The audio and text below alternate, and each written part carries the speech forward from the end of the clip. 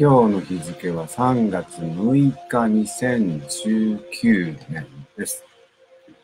今日、録音ブログですが、今回のお題目は、調子が悪い時は、に対する内容。ちょっと漠然とするかもしれませんけど、えっ、ー、とですね、あの、まあ、友人が、あの、まあ、ここ2ヶ月ぐらい調子が悪く、先日ちょっとその、まあ、極みだ。極極みでもうどうしようかと思ったという話が、まあ、メッセージで送られの、で、別の友人が昨日は自分の調子が悪かったっていう話で、そこで、あの、私的にはどうして2ヶ月待ってたんですかっていう、あの、もっと人に、人っていうか、あの、表現した方が良かったかもしれませんねってコメントを入れたんですが、で、そこで、日本人的な感覚、あ、日本人でもないか。あの、頑張りすぎちゃうとき、例えば2ヶ月間ずっとその調子が悪いっていうのを分かりながら、まあ過ごしてきので、ある程度、まあピークに達したときにどうしようと。で、これはまあ人の性格によりますよね、基本的には。すぐ行っちゃう人もいれば、ギリギリまで待っちゃう人もいれば、あの、それはもうバラバラだと思うので、行っちゃえば、ある程度、私的には、かなり我慢してましたね、昔は。あの、言わない的な、ギリギリになるのと。で、そこで考えたときに、例えば、言わないと誰もわからない的な、なんとなく察することはできても、その、口に出さないとわからないこともあるので、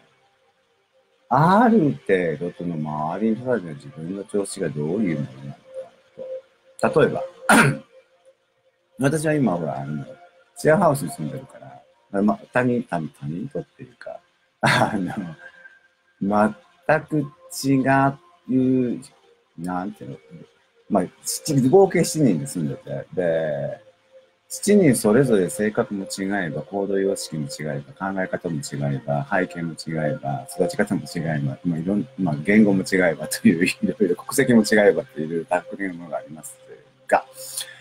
で、そういうところで暮らしていると、やっぱりこう、なんとなく行動を観察してればなんとなくわかりますけど、やっぱりその日によって調子も悪い時もあれば、調子がいい時もあれば、気分が重たい時もあれば、気分がかかる時もあると。で、その時のダイナミクスによって、こう、雰囲気が変わっちゃう。で、そこでちゃんとコミュニケーションが起きてないと、頭の中でやっぱり考えちゃう人は考えちゃうし、考えない人も全くスルーしちゃうから、ポイントは、的確に表現すれば誤解を生まないところを表現しないことで誤解を生んでしまうこともあり得ると思うんですね。た例えば、あの、なんて言うんだろう。こう、調子が悪いのに調子がいい的に表現してしまうと、ああ、普通なんだなと思うけれども、あの、実は調子が悪いっていうことで、ある意味、その、発信してるところ、実は調子が悪いんだけれども、調子がいいって発信しちゃうと、周りは誤解をしますよね。はっきり言って。あ、大丈夫なんだな、ってに。で、それがピークに達したのにどうして言わなかったのってことになっちゃうわけですよ。なので、そこら辺は、あの、大げさに言う必要はないと思いますけど、その、まあ、周囲にとっては、言ってくれた方が分かりやすいですよね。それは。置かれてる状況とか、自分がいる状況を、あの、大きさではなく、いやいや、こうこうこうでこういうふうに、この感じなんだけれども、点々点で気にしないでね、的にぐらい言ってくれれば、ああ、そうなのね、と聞いた方は、あの、理解ができる。例えば、あの、まあ、カップルで喧嘩をして、喧嘩をするのを聞いちゃいました、私がね。で、あこれもう喧嘩してるしどうしようみたいな、入っていけばいいものなのか、それとも単純にあのスルーしちゃえばいいものなのか考えちゃうわけですよ。で、で、その、やっぱ人によってボーダーラインというか、その境界線も違うから、まあ、ずけずけと鼻を突っ込んでっていうわけにはいかないんですが、まあ、そこで、ある、まあ、的確にコミュニケーションを起きていけば、あ起こしていけば、その、振り回されずに済むし、振り回す、振り回すこともなくなると。で、やっぱりオープンコミュニケーションになってるかなってないかでは、その、環境とかその、まあ、生活ですよね。のダイナミックスがやっぱり変わってきますね。なので、こう、黙っているよりは、その今の自分のその肉体的な状況であれ、まあ、肉体的な状態であれ、精神的な状態であれ、感情的な状態であれ、ある程度は、あ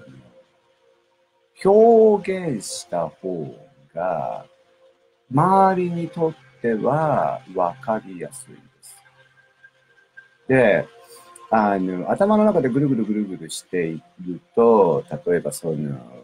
怒りとか悲しみとかぐるぐるしてると、それを表現しだと、なんとなく周り的には察することはできても、やっぱあの口を開いてくれないとわからないと的確に。なので、ある、そこではやっぱり何度も言いますが、オープンコミュニケーション的に、その今の状態、もしくは状況を、こう、わかりやすく、あの、説明してあげれば、周りは、あそうなんだと思うと。で、に、うん、難しいですね、表現がね、これね。あとにかく黙っているとわからない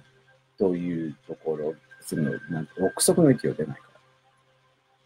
で、そこでどう、人によってはどういうふうに対処すればいいかわからなくなっちゃうと。で、対処すらできなくなると。アクションすら行わせなくなるので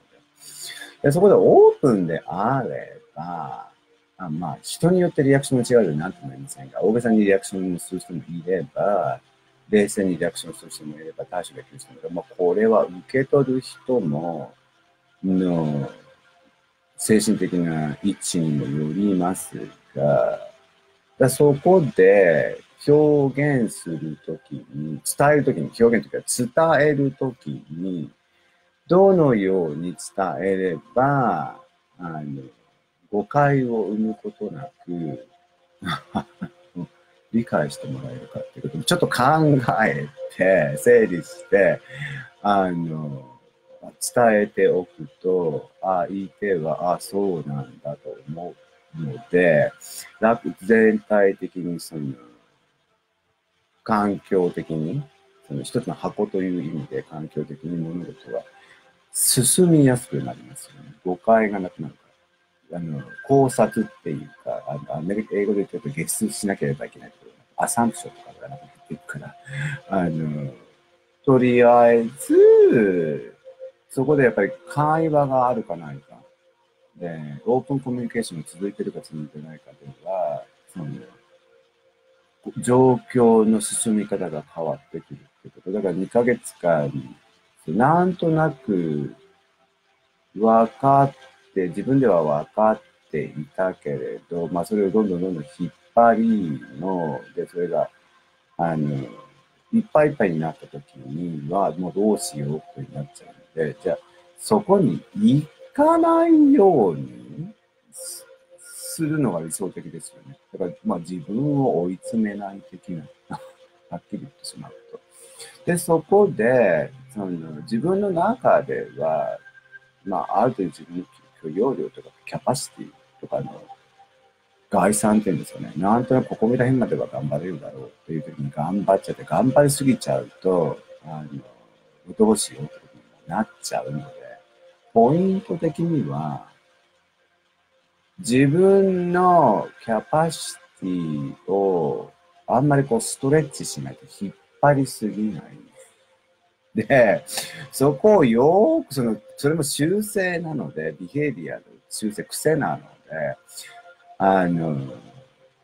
長く引っ張っちゃいすぎる方、系の方は、どこかで、あのそれを緩めるなり、あの自分で全てをやらないなり、あのどうすれば、なんて言うんだろう。全体として、例えばそれが家族であろうが、集合、あの、集合的に住んでいるであろうが、職場であろうが、また職場でも、その、ギリギリのところでずっと仕事をしてて特にグループアクションなんかの場合、あのもう、ギリギリバップアップになっちゃってもうダメですってなった時に、そこでまたバランスが壊れてしまうので、そしたら他の人がまたカバーしなきゃいけないわけじゃなくて、職場的には。そうす、そうそういう状況になったらもっと、あの、なんていうの、ややこしくなるっていうか、他の人にも大変になっちゃうし、自分も大変になっちゃうっていうことで。でそこもちゃんと、あの、コミュニケーションを取っていけば、バランスよく進ませていけるところを、あの、まあ、進ませることができるわけですが、でも黙っていると、わからないって、あの、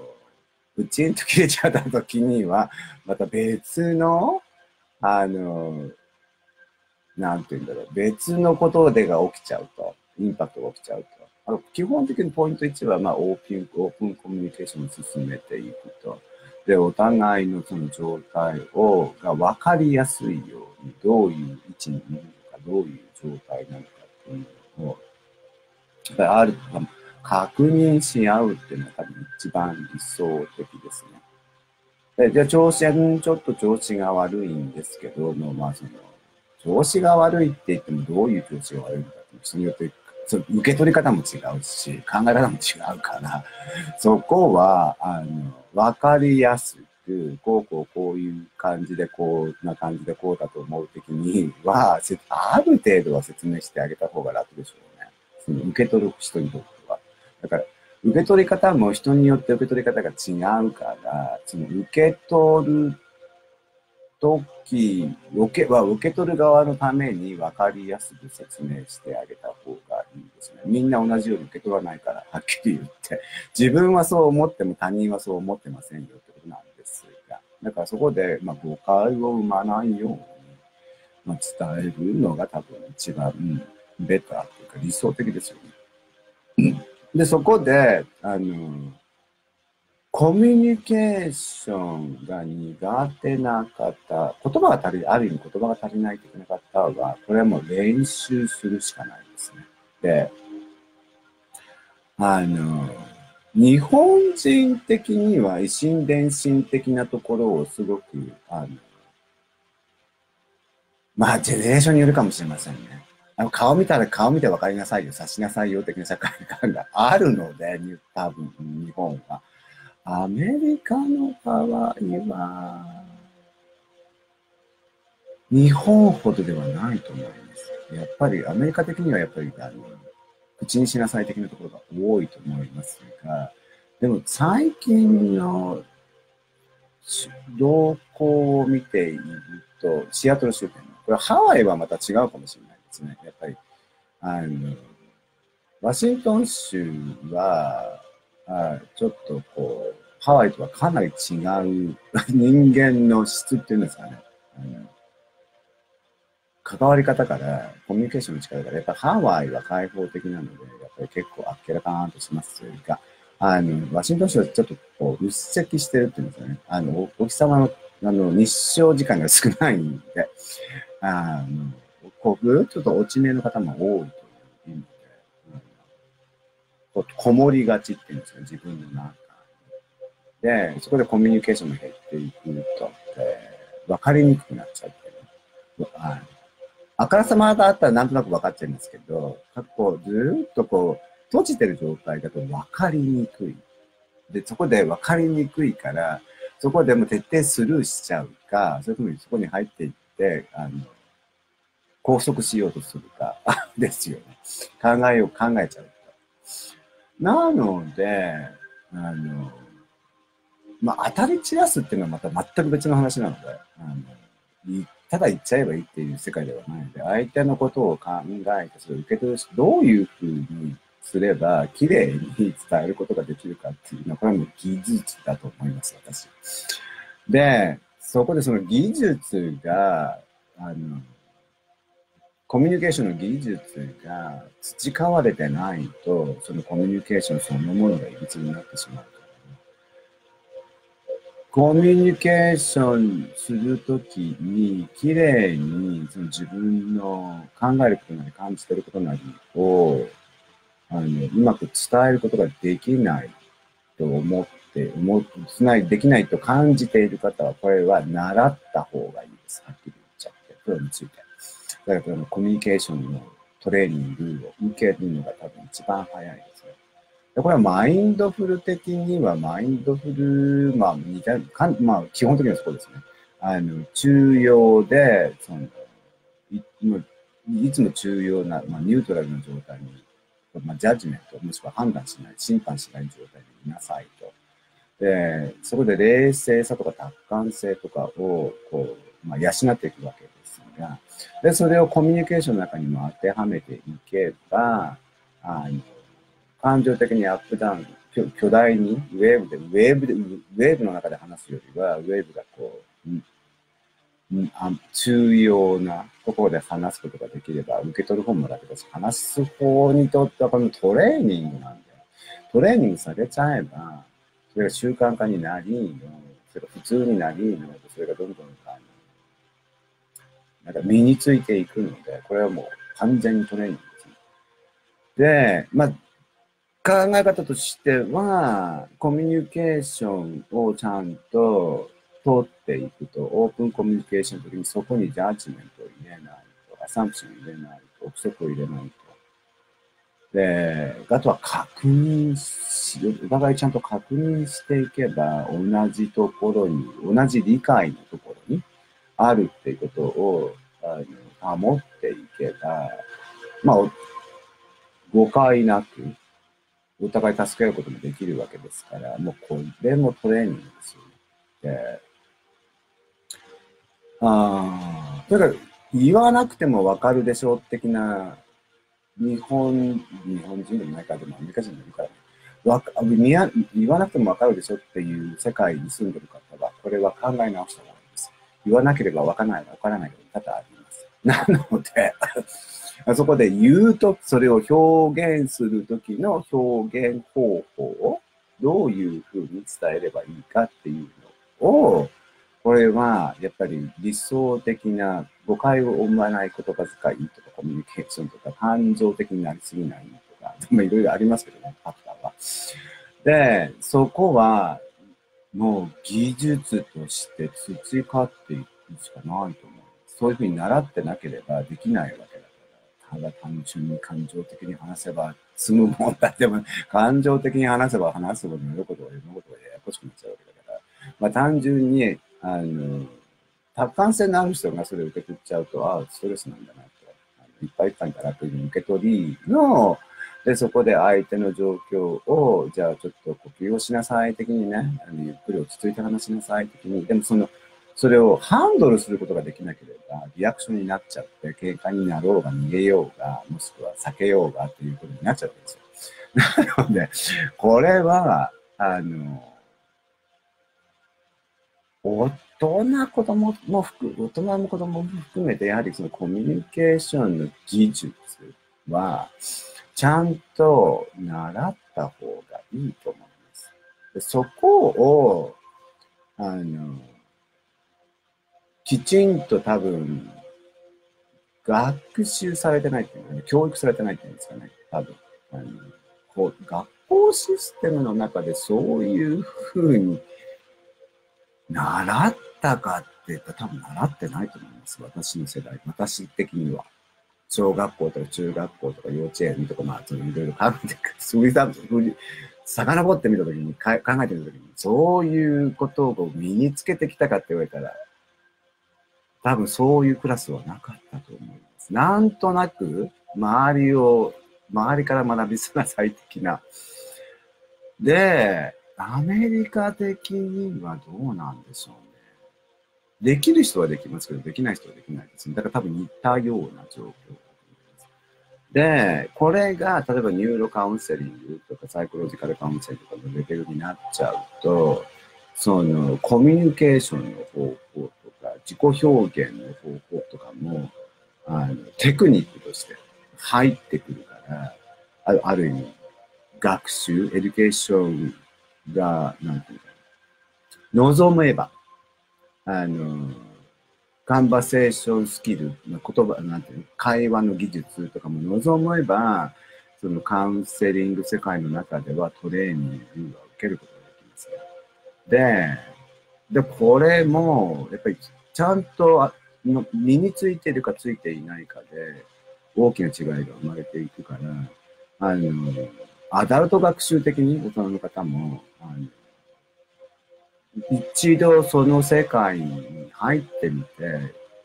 英語で言うとプロパー、プロパー、プロパーなカンバセーションとか、的確に理想的に会話を進めていくには、どういうポイントがあるの、コツがあるわけだ、どこにフォーカスするとか、どこにその意識を置いて何、どこに意識を置いて何を話すかっていう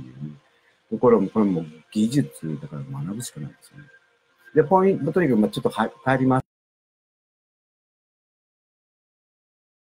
的確にコミュニケーションし、自分の状態を伝えては、相手がそれを分かっていけば、余裕がある方はサポートできると。何かすることができるわけ、自分一人で頑張って自分の中でこう抑えすぎずに、ちょろちょろと全部ばっくりギリギリギリちょっとこでばっくりこうだったんですって爆発的に出すよりは、ちょろちょろちょろちょろ出したら、あの、爆発しないところまで、爆発するところまで行かなくてもいいわけですから、こう出しにしのお互いその、リレーションシップなり、ファミリーシップなりの中で、あの、まあ、サポートし合う、で、することも可能なので、まあ、ポイントは、あの、抱えすぎない。で、抱えなければいけないわけでもないので、でその人のキャパシティによりますが、で、でそこでその内面的に葛藤が起きちゃう人もいるので、ただどういうふうに、やっぱりこれも技術ですよね。周りに対して自分をどういうふうにプレゼンテーションできるか、伝えることができるか。だからそこの技術を高めていって、自分で身につけていけば、少なくとも、その、周りに対して誤解を生まなくなると。だから、なんていうんだ、これは完全にトレーニングですよね。感情的に、いつも感情的な人もいれば、いつも冷静な人もいれば、いつも判断する人もいれば、いろんな人がいるから、あの、感情的な人は、まあ、その、それが普通だと思ってるから、何にも疑問にも思ってないわけですよね。はっきり言う。で、冷静な人は冷静な人で、それがいつもだから、で、それがずっとなわけじゃないですか。だからそれはどこ、メジャーメント、その、測りをどこに置くかによって捉え方も全然変わってくる。でも理想的なところを言ってしまえば、お互いが、紆余曲折することなく、アップダウンすることなく、あの、スムーズに意思,、うん、意思の疎通ができると、言葉を通じて、もしくはアクションを通じて、日本人でもアメリカ人でも行動で示しちゃう。例えば怒りを出しちゃうと悲しみをガンガン出しちゃうとか、あったらこん言葉をあの行動で分かんなさいよっていうような時の人もいるから、でそれが理想的なのかって言われたら疑問ですよね。たるように当たっちゃっても仕方がないでしょうみたいな。あの、なので、私的には例えば、バスに乗って、まあね、どっかに帰ってる時にバスの中にいろんな性格の人がいいの、いろんな表現があるわけですが、まあちょっとやっぱり壊れちゃってると、バスの中でも平気で罵倒しちゃうみたいな、あの、喧嘩起きちゃう的な、いがみ合い起きちゃう的なのが普通なんで、あの、路線によりますけど。で、バス路線によってはお行儀の言い方も多い路線もあれば、もう、やっちゃめちゃな路線もあれば、あの、バラバラですけど、人間観察をしていると、やっぱりこれももう、その人のstate が、の違いだから、まあ、ストレス、顔を見て、ほんあの本当にあなたたち本当にストレスなの仕事行くの嫌なのでって朝からそういう方も多々いるし、朝からハッピーな人もいるし、朝から機嫌が悪い人もいるし、波動的に行ってしまうと、朝のバスの中で幸せな波動を出してる人って多分5%にもならないでしょうね。珍しいですね。みんな大体ぐっと閉じてるか、疲れてるか、イライラしてるか、壊れてるかどれかのバリエーション。シアトル的には疲れてる人多いですよね、やっぱり。で、でじゃあそこで時代次のセクションとして、じゃあどういうふうに自己管理をすることができるかと。ポイントは自分で自分のその状態をこう、わかることができる。あなんとなく調子が悪いなと。調子が悪いなと思ったら、その調子が悪いっていうことを奥に押し込めない。調子が悪いんだけど私は調子が悪くないですっていうふうに、あの、ごまかさない方がいい。調子が悪いなら調子が悪いで、あ、調子悪いんだっていうところから始めて、じゃあどうすれば調子が悪い状態から調子のいい状態に戻すことができるか というふうに変えた方がいいですね。隠しちゃうよりは、自分の中で隠しちゃうよりは、あのベールをかけちゃう。私は、いや、疲れてるんだけど疲れてないですっていうふうに やるよりは、あ、もう正直に認めちゃいいの。で、そこでもうちょっと自分に時間を先の自分に時間を与えの、じゃあその状態を、こう、リフトアップっていうか上昇、上げ、引っ張り上げるにはどうすればいいかっていうことを考えた方が、長い目で見たときに、隠して自分の中で分かっておきながら大丈夫、大丈夫、大丈夫で、なんとなく調子が分かってるのが、まあ、例えばそれが1年前であろう、2年前そこを無視しの、分かってるんだけど見ないようにしので、箱を開けてみたらドキャーになってるよりは、だから初期、まあ、早期対策っていうんですかね。で、そこで、そのまあ、医者に行くという方法もあるし、薬に走るという薬が、まあ、あの西洋医学的にあの頭痛の薬とか中の薬とかいろいろありますが、あのドラッグっていう意味、ストリートドラッグとか麻薬とかそういう意味ではなくて、あのあのお薬を飲むという方法もあれば、あとはまあ東洋医学的に針に行くとか、もしくはマッサージを受けるとか、あの足つぼ行くとかいろいろあります。もしくは運動するとかもありますが、何かしらのアクションは起こした方がいいですよね。で、これは、まあ、あの、常日頃の生活の中でちゃんとバランスよく編み込んで、生活の中に取り込んでいけば、こう、マネージしやすくなる。したりしないよりは、コンスタントに、あの、健康を維持するためには、どういうことができるかと。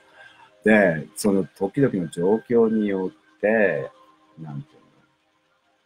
さ、まあ、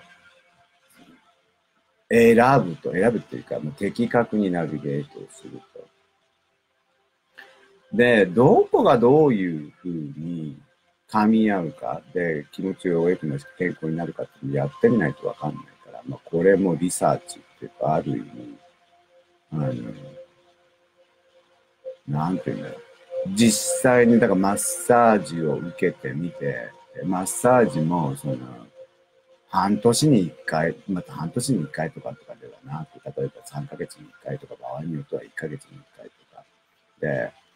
ハーリーも全く同じですよね。で、その時だけ行って、その時だけちょっとよく見るとまた元に戻っちゃうわけだから、長期的な目で、目で行って行っちゃうと、ある意味ロングスパンで、あの、通い続ける的な、で、回路的には私は、あの、本当に骨がずれちゃった話は別ですけど、うん、あんまり骨はいじらない方がいいですよね。私的には。私は進めませんけど、あの、骨は筋肉と筋とか神経の、なんていうの、中心とかで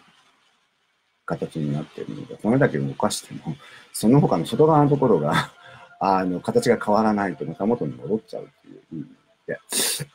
で、お薬はまた、これも微妙ですね。私は可能な限り薬は飲みたくない人なので、あの、はいはいと出されたものを全部受け取りませんね。一応戦いますね、医者とは。な、あの、医者は薬を、あの、これを飲んでくださいっていう時に、あのガンガンガンガン出してきますが、それも全部受け取っていたらどんだけの、どんだけのものを飲まなきゃいけないんですかってことになっちゃうので、あの、戦います、私的には。あので、鵜呑みにせずに、あの、薬剤師、まあ、可能であれば薬剤師の人と話して、そのとりあえずどういうものなのかっていうのをお勉強し、その中で、あの、もうこれは仕方がないな、的に入っただ言っちゃったら、あの、まあ、飲み始めるしかないですが、そこまで、じゃあ、それと同じこと、同じようなレベルのことを、食事でできるものなのか、運動でできるものなのか、別のオルタナティブな、他のやり方を考えてみると。で、だからポイントは、あの、薬に関しては医者の言いなりになるよりならずに、あと自分でリサーチしのどういうものなのか、でしかもそのロングスパンで見たときに、どういうところに流れていっちゃうのかと。で、はい、あの日本人的には、あのなんか調子が悪かったら一緒にいて薬飲んで、それで終わり的なところが多分、私は子供の時からそうですね。あの、ある程度のその気づくまで。だから、調子が悪くなったら薬を飲むと。で、でも今から考えた時に、あれもあれは疑問だったと思います。ただそういう世界で育っちゃってるから、親的にはほら、調子が悪かったら中の薬飲みなさいとか、頭痛かったら頭の薬飲みなさいみたいな世界で育っちゃってるわけだから、そこにそ、それが普通だと思っちゃってるわけですよ、ね。その他の、その、対処の仕方が与えられてないわけですから、子供的には頭が痛くなったら薬を飲むもの、でも中が痛くなったら薬を飲むものっていうふうに育っちゃうわけでしょ。だからそこで、だそこは、あの、やっぱりある程度疑問符を持って、あの、可能な限りナチュラルな方法で、あの回復っていうか理想的な状態に戻すっていうのを、これも試行錯誤するしかないですよね。で、まあ、漢方っていう、まあ、ハーブとか漢方とか、まあ、ハーブと漢方の違いっていうのはあれですけど、ハーブっていうのは基本的には多分西洋学的な、あのウエスタン的な薬薬草学で、漢方っていうのは東洋的なもので、あの、これは、あの、その土地によってって植物っていうのは、薬草の種類が違うから、これも完全にリージョナル文化的に中国的な文化と、例えばヨーロッパ的な文化では、ハーブの世界観が違うわけだから、あの、そこ、これも勉強するしかないですよね、知らない人は。で、勉強していけば、なんとなく世界観が分かってくる。で、それを日常生活の中で落とし込もうとすれば、例えばその、食、食べるものがどういう薬効ですね。あの薬としての効用があるのかっていうのは、これも学んでいくしかないで。で単純に、あの、あるものを食べるよりは、ちゃんと考えて、いろんなものを組み合わせ、薬効のあるものを食べ続けると。だから、インド、ベーディック的には、あの人たちもスパイス世界だから、結局は、あの、薬を毎日食べてるみたいなもんですよね。中医学的にもちゃんとそこ突き詰めていけば。で、日本の、まあ、や日本にも薬膳というものがありますが、まあ、基本的には同じ考えですよね。薬を毎日食事として食べる。だからそこが、現代社会的にはもう完全にこう、なんていうのあんまあんまり見てる人があんまりいないから、そういうふうに。そこも学ぶしかないですで、過去の知恵としては日本の文化の中にもすでにあるわけだから、それをまあ掘り起こしの学びので、薬膳の世界が分かっていけば、その食事、日々の食事を通じて、あの健康管理は少し、まあ、しないよりはした方がいいですよね。その他物を食べるな。だから私的には、だからこんにゃくは砂おろしとかそういうふうに、ある程度教わったので、うちの家族的には。で、ちょろっとは入っていますが、でももっと多分あるはずなので、だから生姜とわさびの紅葉みたいな世界ですよね。それを知ってれば知ってるほど、それを、あの、食事の中に取り入れて選ぶことができると。無防備に食べずにちゃんと選んで食べることができる。その時の状況に。熱を落とすには何を食べればいいか、何を飲んでばいい、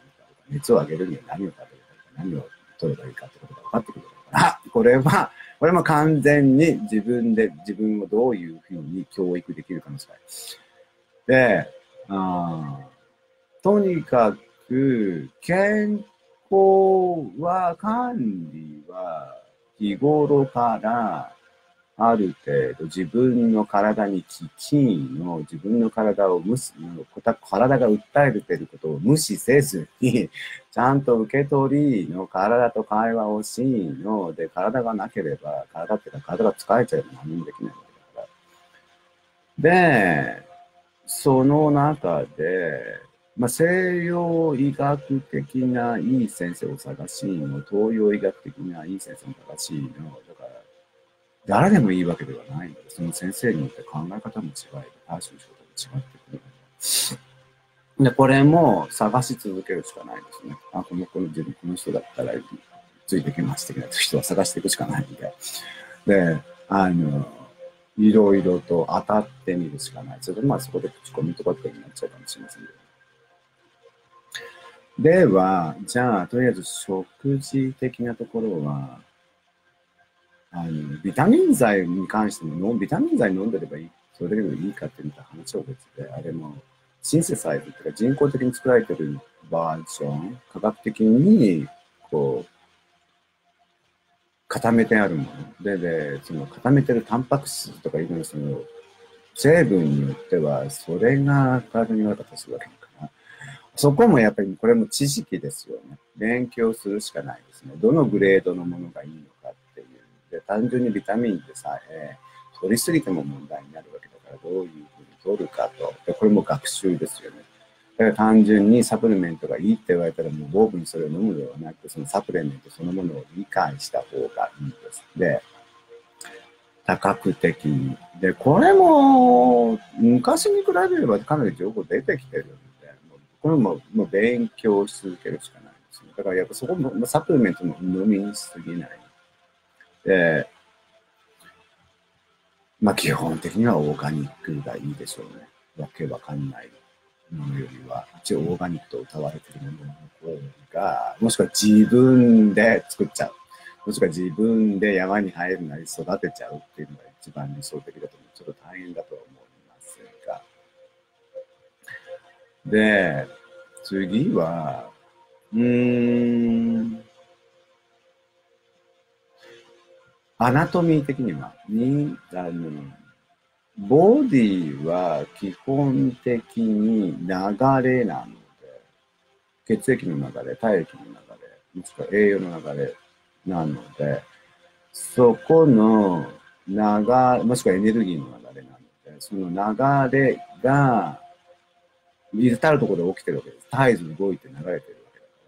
それにフィルターが入り、の毒素が排出され、の栄養が取り込まれるのって、まあ、基本的には流れが、こ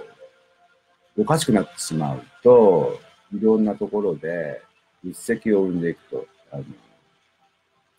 塊の、つ、詰まりのところが起きてくるわけですよね。そのシステムの中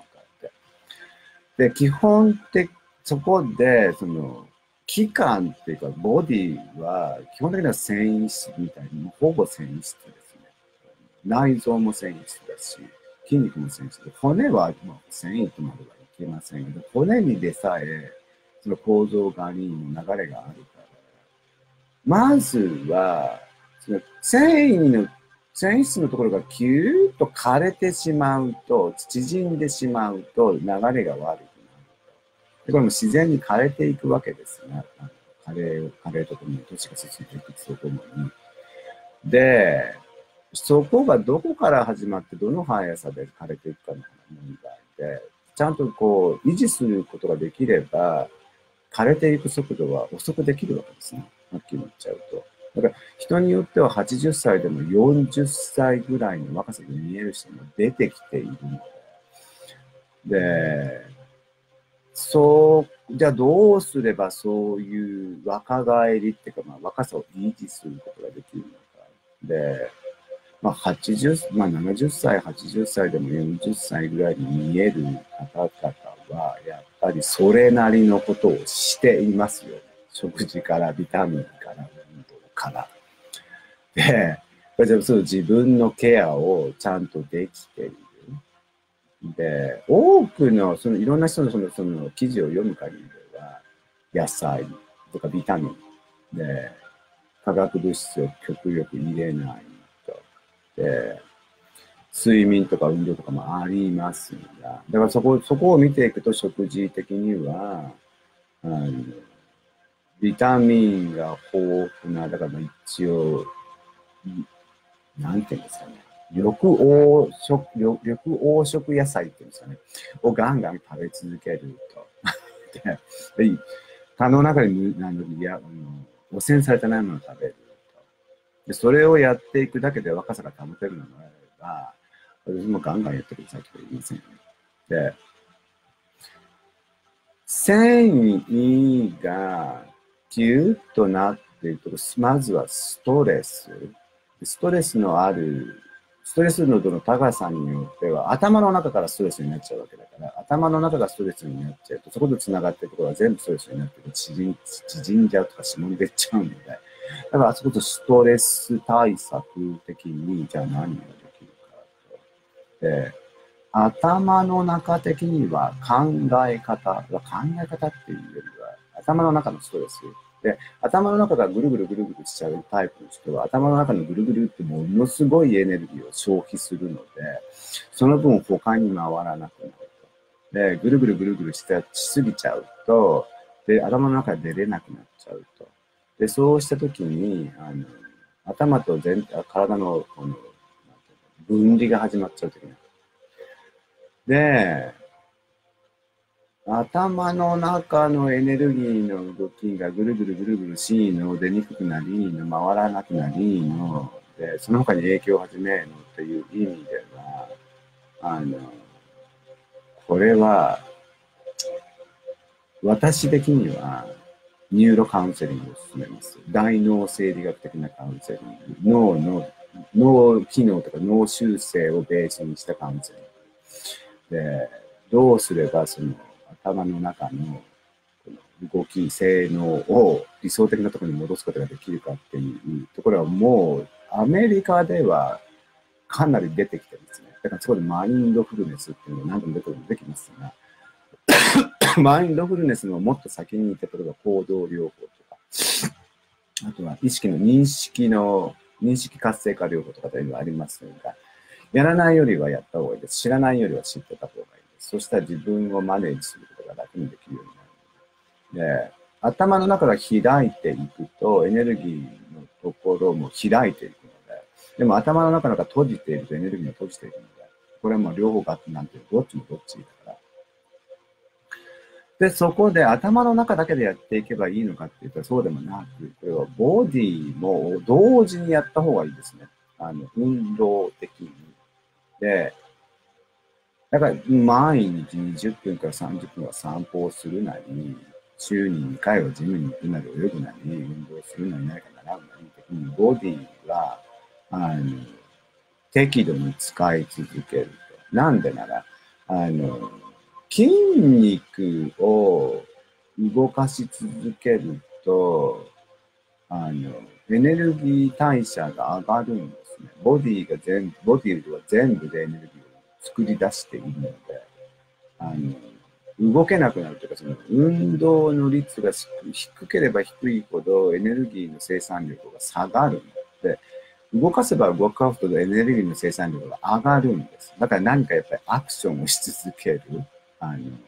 じっと同じところに座ってずっと24時間いるよりは、とにかく何か歩くなり、まあ過激な運動は、私は微妙ですが、適度な運動はやっぱり続けると。で、あとは伸ばす、ストレッチ。だからそこでヨガっていうのがまあ流行っているわけですが、アメリカ的な今の流れを見てると、ヨガと、ね、瞑想はもうどうしたんですかって行くぐらいでガンガンガンガン来ちゃってるんで、ヨガ的にはとにかくあれは、あの、私的にはゆっくりする、ものすごく超スローの、なんか、インヨガ的なところの方がいいと思います。なぜなら、急に伸ばしても急に縮んじゃうから。あるいはゆっくりゆっくりゆっくり、本当に超スローで、その超スローを可能な限り引っ張って、ゆっくりゆっくり伸ばしの、ゆっくりゆっくり戻すのと、これをやるだけでもかなり違うと思います。で、ポイントは、ストレスになっちゃうと、体が縮んでいきますと、縮んでいっちゃうと、線維が縮んでいきますと、全部エネルギー的に縮んでやって閉じていくので、とにかく開きの伸ばしのをやっていけば、ほぐれのと、で、ほぐれていけば、通りが良くなりのということなので、ここも習慣になるまで落とし込んじゃうと。でだからやったりやらなかいよりはもう、ちゃんとスケジュール決めちゃって、自分の中で落とし込まれ、それが普通になるまでやり続ける。嫌とかあの考えずに、もうとにかくやり続ける。何も考えずに。だからもう行動療法的にアメリカでこれはあの be behavior activation、行動を活性化させるっていう意味では、考えて、例えば、あの、毎日散歩に20分っていうのを決めたとします。で、それを実際に自分で20分できるかどうかで、日によっては考えちゃって、ああ、いや、今日は調子悪いから行きたくないなと。で、マインド、先に考えて行動が止まっちゃうわけですよね。その修正までいかないと。だから、考えすぎちゃうよりは、なんかもうパンともうそこで考えが行動を阻止してしまう場合は、考えずに、とにかく決めたことはやり続ける的な。例としては、会社に行ってる方々は、例えば月曜から金曜日まで、この朝何時から何時までっていうふうに、パターンになってるから、もう考えなくてもそういうふうに動いちゃうのね。だから、すべてがそのように、まあ、あの修正になってしまえば、考えずに自動的にオートマチックにいっちゃうわけですよ。そこまで自分をポジティブに仕込むというか、マインドを、あの、そういうふうなマインドに作っちゃう。で行動を、が、あの、習慣化していくと、その習慣化された後からマインドがついてくるから、マインドが先に立っちゃうと、考えが先に立っちゃうと、行動がこう育ちにくいケースが多々あるんですよね。だから考えて考えて物事が進まないのであれば、考えてること、そのプロセス自体があんまり意味がないってことなわけですよ。なので、まあその、その subject にもよりますが、あの、直感的な行動まあ理想的ですよね。パッと思ったら、思ったことをパッとその場でやっちゃうと。その引っ張らずに。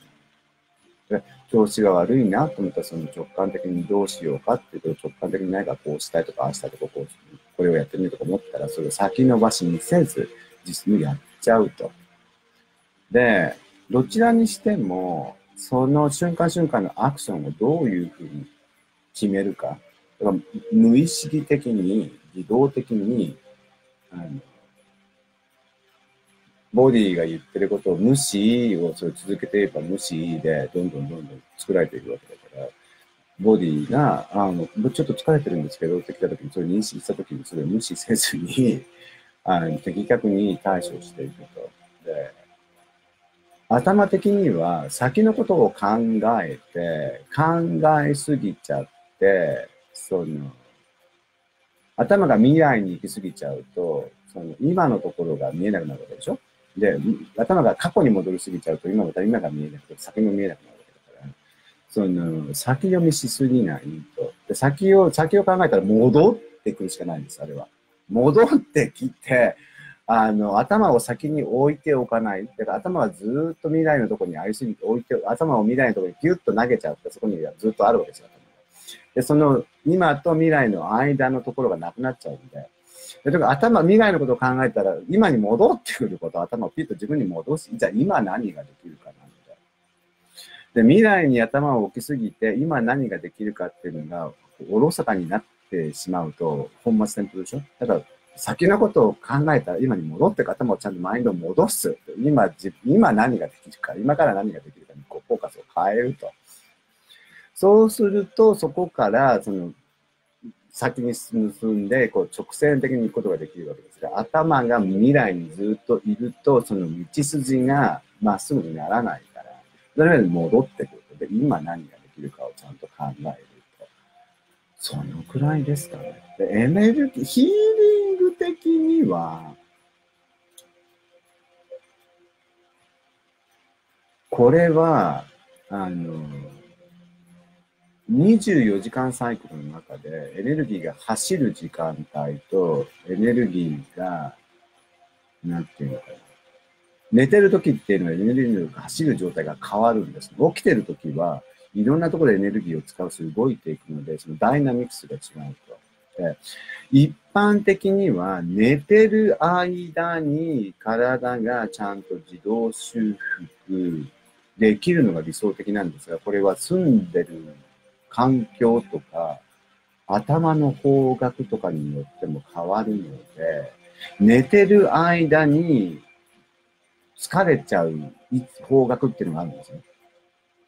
で、これは、あの、キシネオロジーとか、オーリング的に、どの方角に向いて寝れば体が寝てる間に強くなる。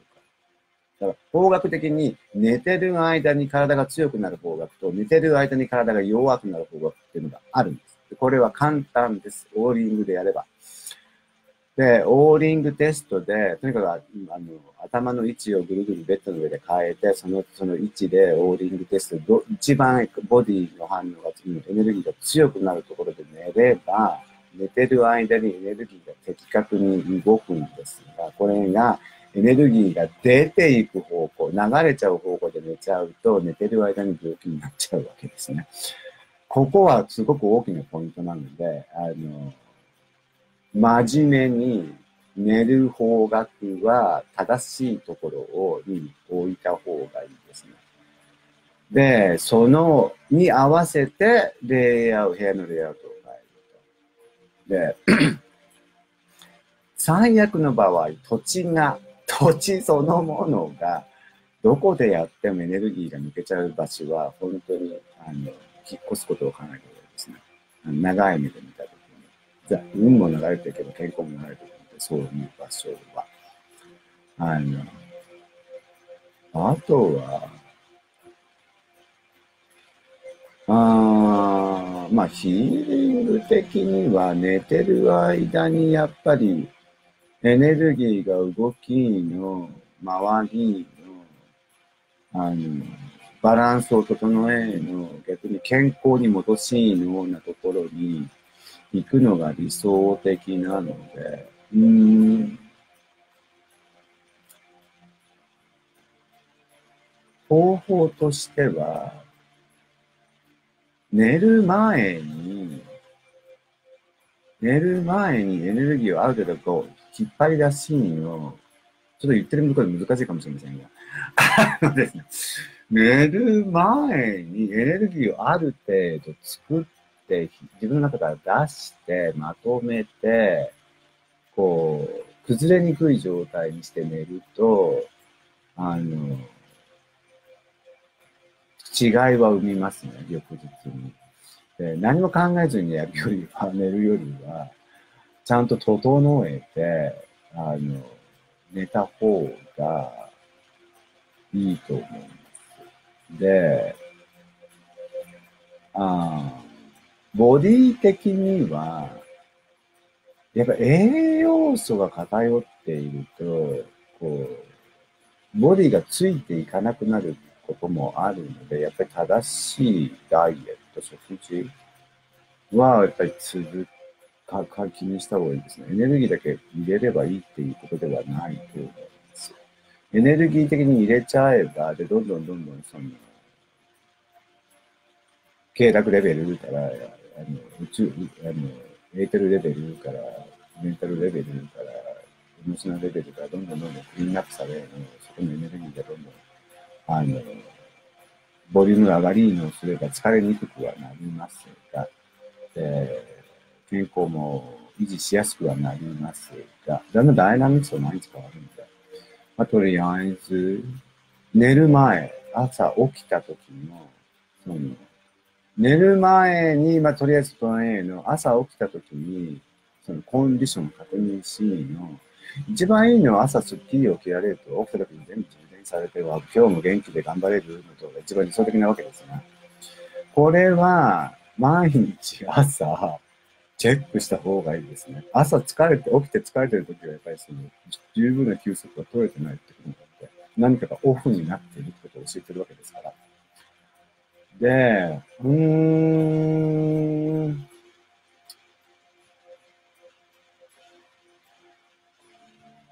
アメリカでは今、フローティングタンクちょっとまた戻ってきましたが、塩風呂、塩風呂っていうか、タンクね。食塩水の中に、まあ塩の水の中に浮かんで、あの1時間ぐらいぼーっと過ごす的な、あの体の電荷を変えるという。で、それだけでも電磁的にプラスマイナスがこうリセットに向かって動いていくので、ほぐれていきますね。伸びる的に。ある意味無重力体験なんです、私は進めます。プローティングタンクは。まあ、あまあ、それが近くにあるかないかっていう問題もありますが、あの、バスタブの場合は、例えばエプソンソルトを入れて、まあ、長めに目標すると。でもこれもやりすぎちゃうとエネルギーがどんどんどんどん流れていっちゃうんで、まあ理想的には週に2回ぐらい、もしくは最低でも週に2回ぐらいやる進めします。で、ボディの硬さは、あの、わからなくなっちゃう。鈍化しちゃうっていうか、その硬い状態が普通になってて、硬くなってるってことすら認識できなくなっちゃうので、だから伸ばしてみないとわかんないと。だから伸ばして運動してみたときに、あの、の硬さをやっぱりこう、これは動かしてみないとわかんない世界だから。だから動かしの、その、どこまでほどけているか、だから常にほどけて緩んでいる状態であれば、いろんなものがフローするので、あの、例えば肩こりとか腰とか多角的に、あの、どこが縮んでいるのか。を、もしくはどこがしぼんでいるのか、もしくはどこが滞っているのかを確認して、そこにちゃんとウォークしていけば、あの、ゆっくりゆっくりでも開いていくので、これはやっぱり、ここでもやっぱりそれをやるかやらないか、それを習慣にできるかできないかのことなので、で、やったりやらなかったりではなく、あの、やり続けると。で、やるためには自分で自分に対して時間を割かなければいけないので、自分に自分のボディと、オーガニックなボディと向き合う時間を30分から1時間は毎日の中で作った方がいいでしょうね。ここをすっ飛ばしてしまうと、他のことで、それが、あの、仕事であろうが、友達であろうが、家族であろうが、あの、自分をと自分で一緒にいる時間が短ければ短くなるほど、自分のことを置き去りにしちゃうっていうか、後押しにしてしまうので、でそれを続けていくと、あの、うんな結果が、結果っていうか、あの、ボディが究極の、あの、悲鳴状態になって、なるまでは、なるよりは、まあ、あの、ちゃんと毎日30分から1時間自分に向き合いのとか、ボディと付き合って、ボディを緩めのボディを幸せに戻していく。ボディが不幸せになっていったら、全部が不幸せに引っ張られていくので、ボディをあなたの乗り物を、馬を、あなたの馬をどんどん幸せにしていくためには、そことコミュニケーションを取っていくしかないですね。一緒にいるしかないわけだから、あの、離れるまで。ボディは大事にすると。で、コミュニケーションし続けると。で、ボディの声を聞くと。で、それで何かのアクションを起こしていくと。これをや、地道にやっていけば、あの、地道に上がっていくと思います。で、とにかく、あの、やっぱり地道にやっていくのがコツで考えずに、だけど習慣化を目指し、で、それを育てていけばできるようになっていくので、こう、めげずに淡々と考えずに決めたことをやり続ける。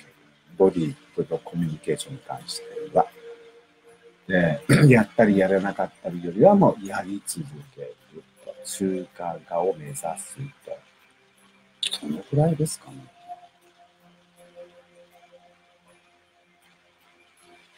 で、とにかくまあ前にも最初の出口、入り口に戻りますが、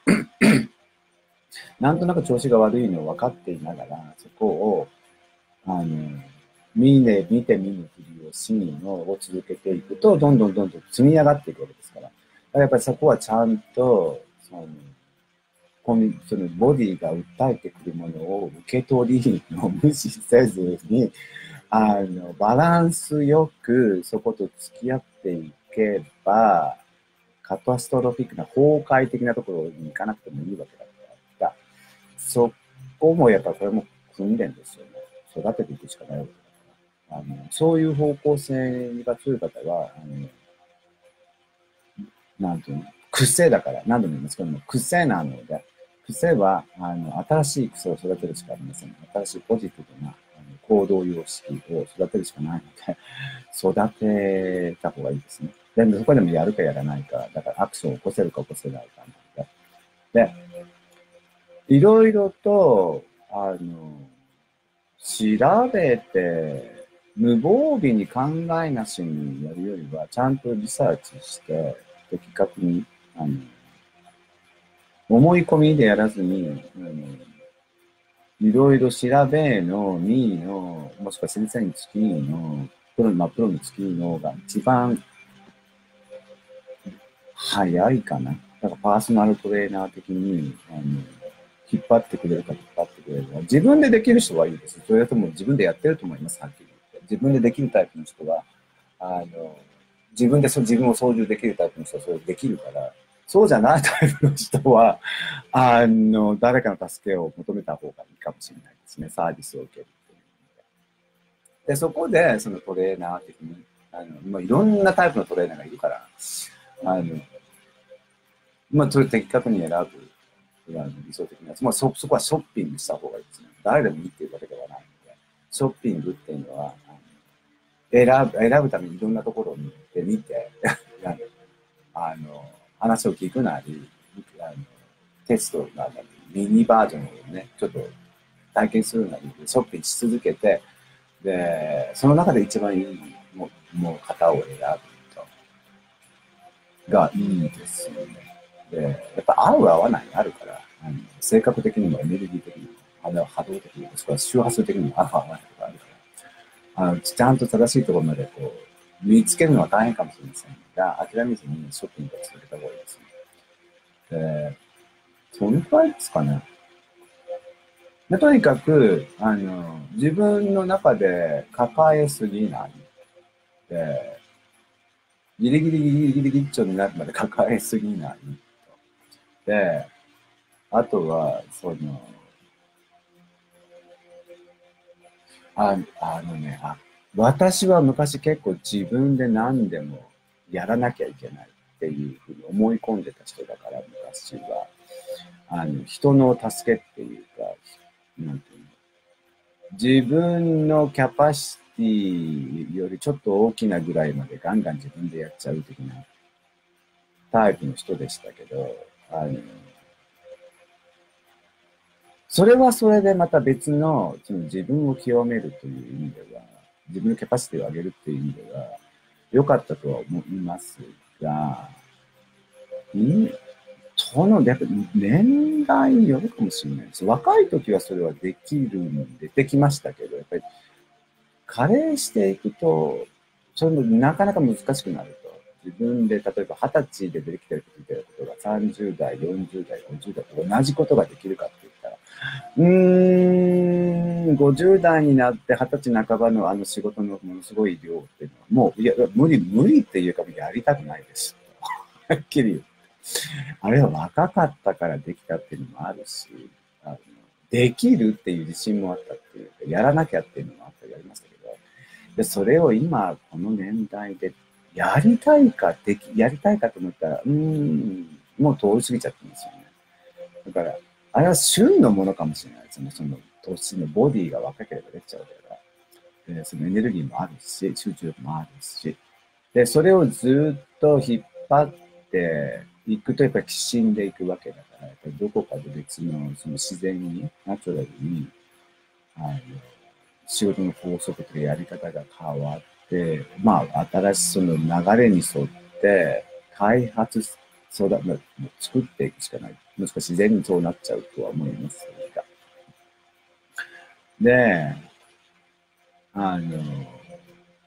ストイックに一人で淡々淡々とやって、それが快感な方は、それがプレジャーな方は別にそれでいいと思いますが、でもそれがストレスになる場合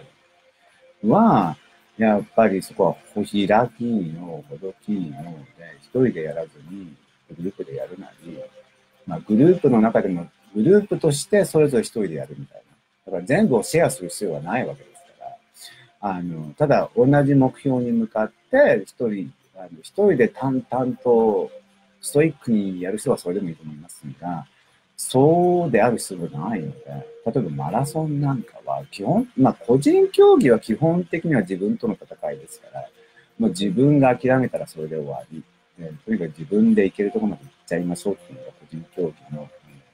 ダイナミックスなので。でもそれを、あの、10人一緒で同じ目的に向かっていくっていうこともできるわけだから、完全に自分を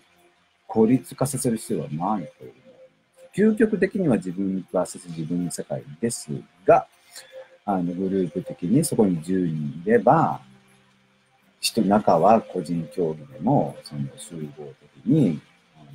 支え合うとがで。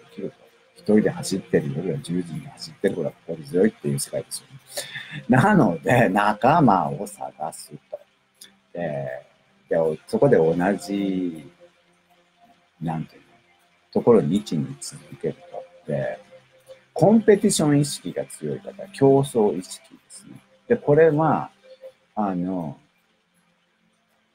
勝ち負けの世界なわけですが、最終的には、あの、なんていうか難しいですね、表現がね。あの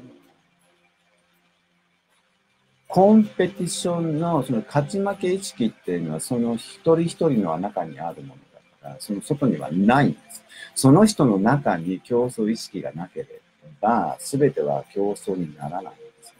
ただ、多くの方はやっぱりその競争意識っていうのを植え付けられているから、負けたくないとか勝ちたいとかさ、いろいろあるわけですよ、その、エゴのところが。で、競争意識的には、誰かではなくて自分にギアを変えて、あの、自分で自分と競争するっていうのも変な世界ですけど、あの自分を高めていくという意味、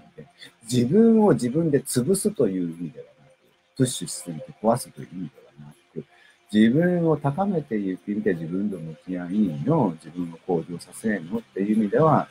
自分との戦いですよね。自分をどういうふうに強調強し直すか。で、それをやるときに、あの、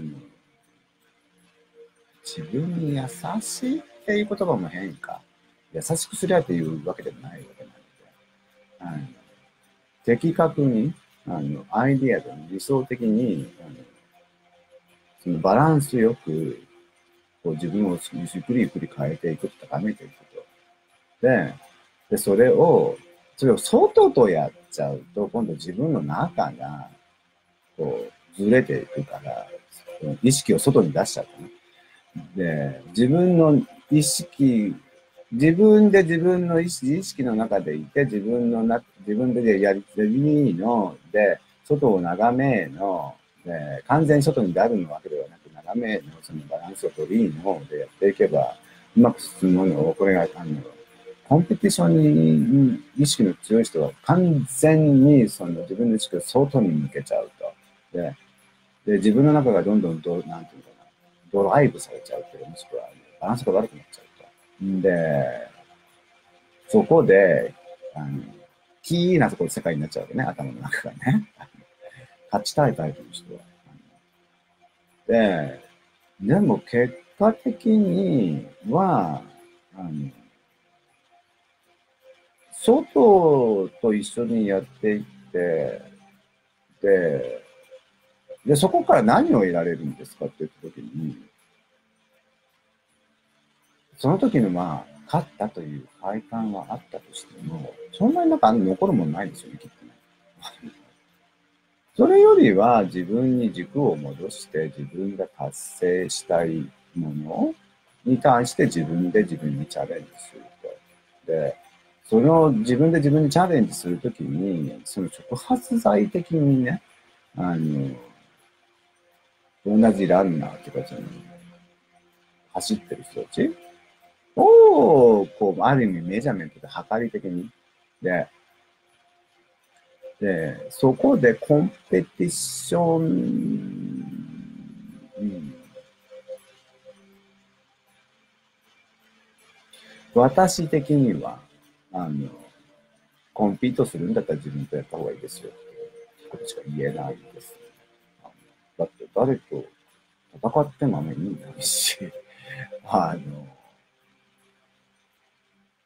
なんて言うんだろ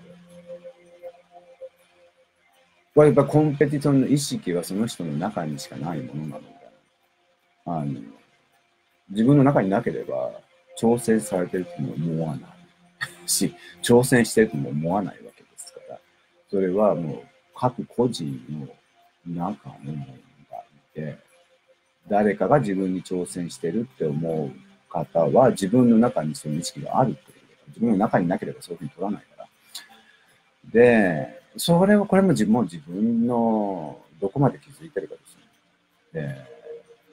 まあ話を戻しに、健康管理に関しては、一応は、まあとにかくポイントは、自分で自分とちゃんとうまく付き合うと、付き合うためには自分で最低限の時間を割いて、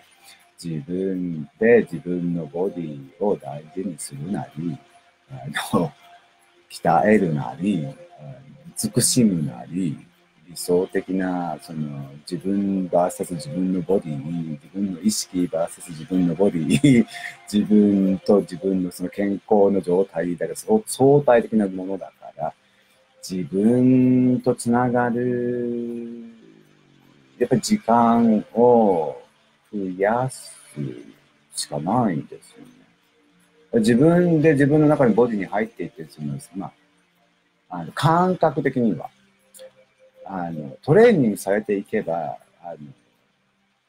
肝臓の中とか、脳幹の中とか、骨の中とかに入っていけるんです。はっきり言っちゃうと、ばっくれた話を言っちゃうし、まあ言っちゃうと、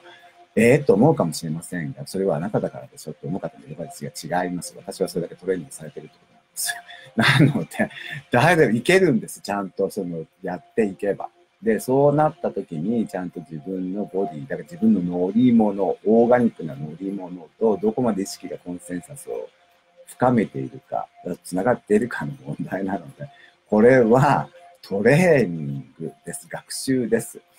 で、やっていけばそこまでいけます、ちゃん。で、そうなったら、そのとこで、だから意識、自分の意識を自分のボディのどこの深さまで差し込むことができるかと、つなげることができるか。だから意識が、例えば肝臓なら肝臓の全体、表面から奥から、そのカンカンと管のところから、その細胞の細胞の一個一個に差し込むことができれば、そこでアクションを変えることができるんです。差し込めることができなければ、あのあの、ある意味自分で操縦できないっていうか、お任せになっちゃうわけですが。でも、ポイントは、あの、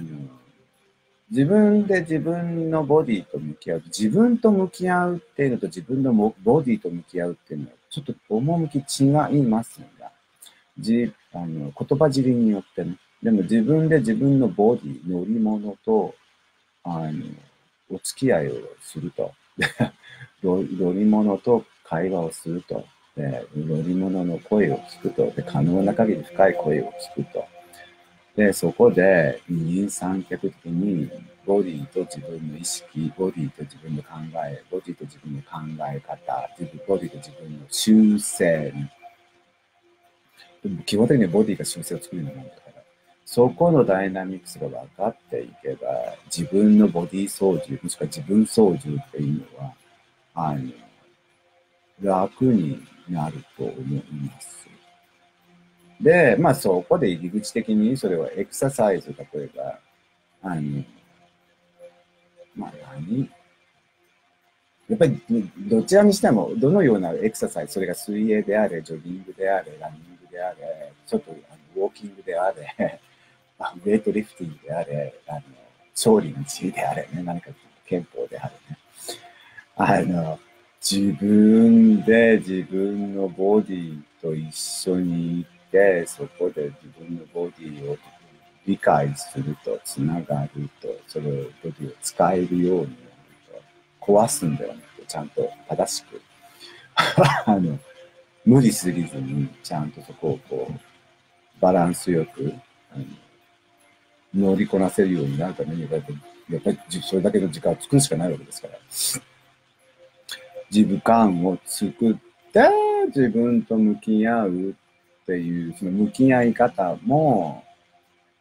単純に、これも表現、言葉のあやになっちゃうんですね。自分と向き合うっていうのをどういうふうに項目するかなので、あの、心と向き合うという言い方をする人もいるだろうし、自分の感情と向き合うという人もいるだろうし、自分の考えと向き合うという人もいるだろうし、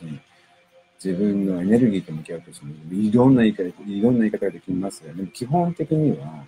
意識 vs ボディなので、あとはボディがエネルギーを作るわけですが、クリエーション、